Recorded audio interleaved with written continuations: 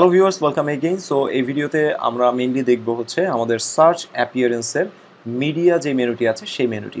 তো মিডিয়া মেনুতে যখনই আমরা আসলাম, এখানে দেখতে পাচ্ছেন যে মিডিয়া আমাদের বলছে যে আমরা যে ইমেজগুলো আপলোড করব বা আমাদের যে মিডিয়া ফাইলগুলো আমরা আপলোড করব, সেগুলো কি আমরা সার্চ ইঞ্জিনে দেখাতে চাই কি না তো অনেকেই এইখানে এই বিষয়গুলো আপনার নো দিয়ে রাখে যে দেখাতে চায় না, আবার হচ্ছে এইখানে হচ্ছে মেইনলি তারা অনেকে দেখাতে চায়। তো এখানে দেখুন যে এটা রিডাইরেক্ট করার জন্য যেটা আছে, এখানে বলছে যে redirect attachment URL to the attachment itself মানে আপনার যেই ইমেজ বা আপনি যে পিডিএফ এটা আপলোড করবেন, সেটা কি রিডাইরেক্ট করে তার নিজস্ব লিঙ্কে নিয়ে যাবে কিনা? তো এটা আপনি চাইলে ইয়েস দিতে পারেন অথবা নো দিয়ে দিতে পারেন। এখানে নো দিলে দেখুন যে আপনার হচ্ছে show media in search result আপনার মিডিয়া কি সার্চ রেজাল্টে শো করবে কিনা, এরপর হচ্ছে মেটা বক্স এখানে শো করবে কিনা এবং এটা টাইটেল বা ডেসক্রিপশন এগুলো কি হবে। আমি ব্যক্তিগতভাবে এটা হচ্ছে ইয়েস দিয়ে রাখি। আপনার এইখানে আমি যেটা করি যে আমার যে ইমেজগুলো আপলোড হবে, সেই ইমেজগুলো আপলোড হলে বা আমার যে ফাইলগুলো আপলোড আমি করব, সেগুলো ক্লিক করলে তাদের ইন্ডিভিজুয়াল যে লিঙ্কটা আছে, সেই লিঙ্কে সরাসরি সে চলে যাক তো এটা আমি এখান থেকে ইয়েস সবসময় হচ্ছে দিয়ে রাখি। আপনারা চাইলে এখানে যে রিডাইরেকশনে যে বিষয়গুলো আছে, যে আপনার ওইটা ওই ইমেজটা যদি ওপেন করে, ধরেন আপনি হচ্ছে ইমেজ পাবলিশ করেছেন, ওই ইমেজটা ওপেন করলে সেটা রিডাইরেক্ট করবে কিনা এরপর হচ্ছে সেটা সার্চ রেজাল্টে শো করবে কিনা, এখান থেকে এই সেটিংসগুলো আপনি চাইলে দিয়ে দিতে পারেন, কোনো সমস্যা নেই।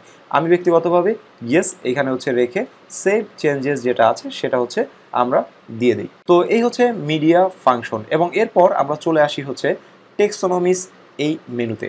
তো টেক্সোনমিস যেটা আছে, এখানে দেখতে পাচ্ছেন বেশ কয়েকটি অপশন শো করছে। প্রথম যেটি আছে, সেটি হচ্ছে ক্যাটাগরিজ সো ক্যাটাগরি যেটি আছে show categories in search results আপনি কি আপনার ক্যাটাগরিগুলো সার্চ রেজাল্টে দেখাতে চাচ্ছেন কিনা, সেটি এখান থেকে আপনি ইয়েস অথবা নো দিতে পারেন। তো অবশ্যই আমি আমার ক্যাটাগরি যেগুলো আছে, আমি আমার সার্চ রেজাল্টে সেগুলো দেখাতে চাই। আমি এটা ইয়েস এখানে দিয়ে দিলাম। এরপর এসিও টাইটেল তো এসিও টাইটেলের ক্ষেত্রে এই মুহূর্তে দেখতে পাচ্ছেন যে একটা সেটিংস এইখানে ডিফল্ট অবস্থায় দেয়া আছে। তো আমি এখানে যে সেটিংসগুলো এখানে রাখি সেটি হচ্ছে টার্মস টাইটেল দ্যাট মিনস হচ্ছে যে আপনার যেই তারা যেটা আপনার যে ক্যাটাগরিটা ওপেন করবে, সেই ক্যাটাগরির টাইটেলটা হচ্ছে এখানে শো করবে। এবং হচ্ছে আমরা এইখানে এটাকে আর্কাইভস যেটা আছে আমরা এটা মুছে দেই, আমার হচ্ছে এটা লাগবে না। এরপর হচ্ছে পেজ পেজের যেটা আছে, আমরা এইখানে যেটা করব পেজ আমাদের দরকার নেই, আমরা এটা মুছে দেব। সেপারেটর থাকবে এবং এরপর হচ্ছে এইখানে সাইড টাইটেল যেটা আছে, এই সাইড টাইটেলটা হচ্ছে আমরা রাখব। দ্যাট মিন্স আমার যখন কোনো ক্যাটাগরি ক্যাটাগরির কোনো পোস্ট বা ক্যাটাগরি ওপেন হবে ক্যাটাগরি আমার শো করবে হচ্ছে টার্মস টাইটেল দ্যাট মিন্স আমার যেই কি বলব যে আপনার কন্টেন্ট যেটা কন্টেন্ট ক্যাটাগরি যেটা আছে ক্যাটাগরির নামটা হচ্ছে এখানে শো করবে। এবং এইখানে হচ্ছে একটা সেপারেটর থাকবে দ্যাট মিনস এইরকম একটা সেপারেটর এবং এরপর এইখানে হচ্ছে আমার সাইডের টাইটেল বা আমার সাইডের নামটা হচ্ছে এখানে শো করবে, ঠিক আছে? তো আমি এই সেট হচ্ছে এখানে দেই। এরপর হচ্ছে মেটা ডিসক্রিপশন তো মেটা ডিসক্রিপশনের জায়গাতে আমি কি কাজটা করি?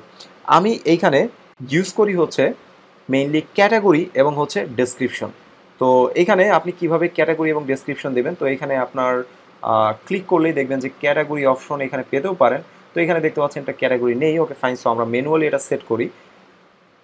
পার্সেন্ট পার্সেন্ট দেন হচ্ছে ক্যাটাগরি, এবং এরপর পার্সেন্ট পার্সেন্ট দেখুন, আমাদের চলে আসলো কি?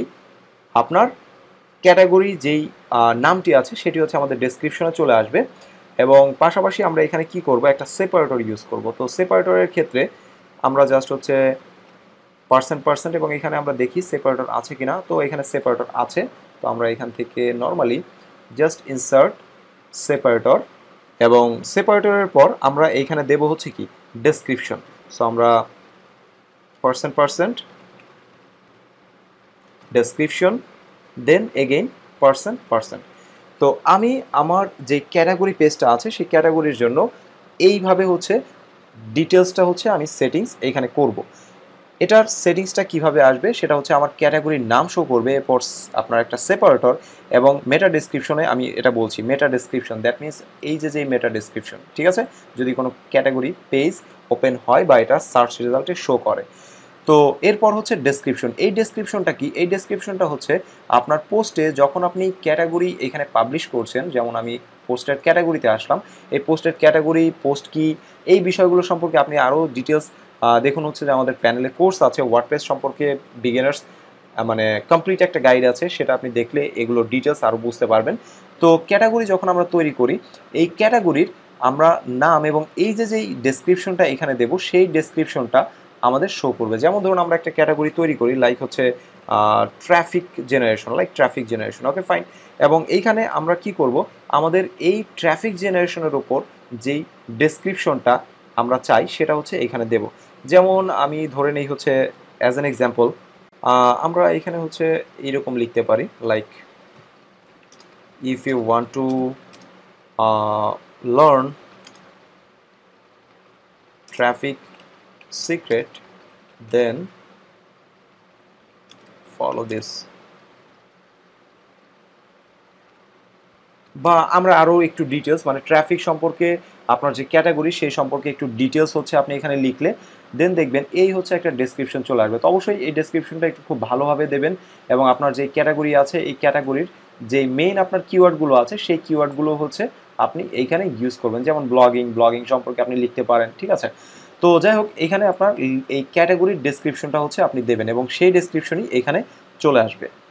এরপর আমাদের জাস্ট এসিও মেটাবক্স যেটা আছে, এটা কি আমরা আমাদের ক্যাটাগরির নিচে দেখতে চাই কি না সেটা আমরা চাইলে হাইডও করে দিতে পারি, কোনো সমস্যা নেই বাট এটা শো থাক।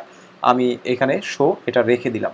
এরপর হচ্ছে ট্যাগস সো ট্যাগে সেম জিনিস সেমভাবে সেটিংস করতে হয় বাট আমি ব্যক্তিগতভাবে ট্যাগ যেটি আছে, এটি সবসময় নো দিয়ে দিই। আমার ট্যাগের অপশনগুলো আমি চাই না।